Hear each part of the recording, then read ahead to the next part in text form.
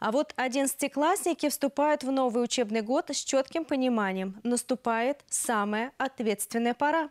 В ближайшие 9 месяцев им придется очень даже потрудиться, чтобы осуществить свою мечту и поступить в те вузы, в которые им хочется. Неудивительно, что успехов им на торжественной линейке пожелали руководители Тверского государственного университета. Более сотни одиннадцатиклассников приступили к учебе нынешней осенью в академической гимназии имени Максимовича Тверского госуниверситета. Наступает самое ответственное время, когда станет известно, в какие вузы смогут поступить эти ребята. Неудивительно, что с напутствиями на торжественную линейку пришли руководители вуза. У вас переломный год, год ответственный, когда каждый из вас должен решить свою профессиональную судьбу.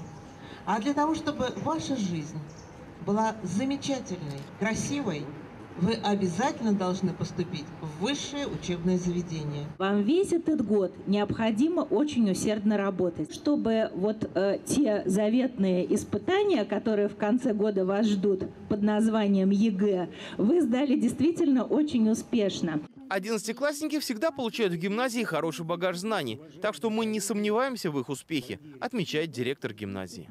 Мы надеемся, э, что все у них получится, и они успешно выберут вуз мечты, успешно сдадут э, единый государственный экзамен и, собственно говоря, смогут сделать в нашей гимназии то, ради чего они туда пришли. Но мы им будем помогать.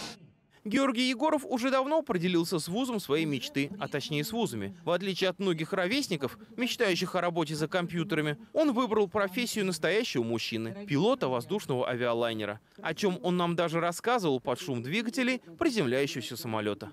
Я хочу поступать на пилота гражданской авиации или в Санкт-Петербургское, или в Сасовское, или в Ульяновское бюджетное государственное учебное заведение. Этот звонок стал последним из череды торжественных линий линеек, прошедших в гимназии в нынешнюю среду. В четверг гимназисты приступят непосредственно к учебе, которая пройдет при соблюдении всех мер безопасности, чтобы никакой коронавирус даже близко не повлиял на качество обучения в гимназии имени Максимовича.